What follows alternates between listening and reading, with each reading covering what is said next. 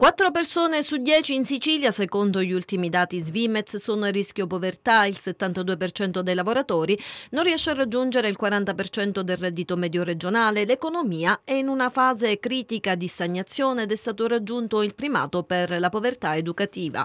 Dinanzi a questo scenario preoccupante, 20 associazioni hanno aderito formalmente all'Alleanza contro la povertà Sicilia che si è costituita a Caltanissetta. L'intento è quello di reagire all'immobilismo delle istituzioni a fronte dell'aumento dei poveri, così come ha ribadito ai nostri microfoni il presidente regionale delle ACLI, Stefano Parisi, associazione che ha aderito all'alleanza.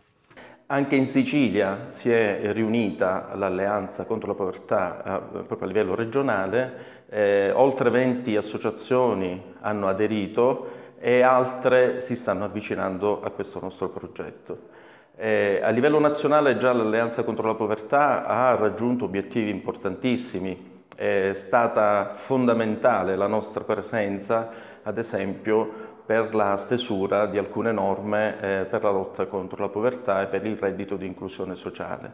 Eh, già queste norme, queste leggi sono state eh, vagliate alla Camera dei Deputati e adesso sono all'esame del Senato. Quindi la stessa cosa vogliamo fare in Sicilia.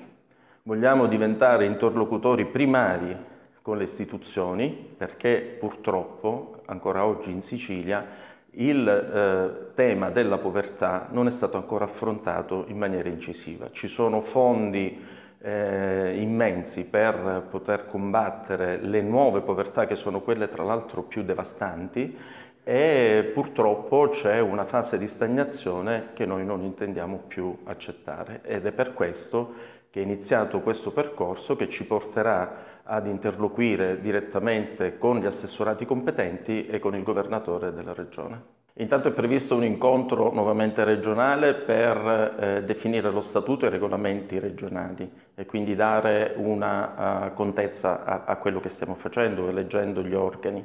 Eh, dopodiché eh, a livello tecnico già ci sono due incontri con gli assessorati competenti, uno il 13 ottobre a Palermo e l'altro il 14 ottobre a Catania, eh, in cui si parlerà della, della SIA e noi saremo presenti per eh, offrire il nostro contributo.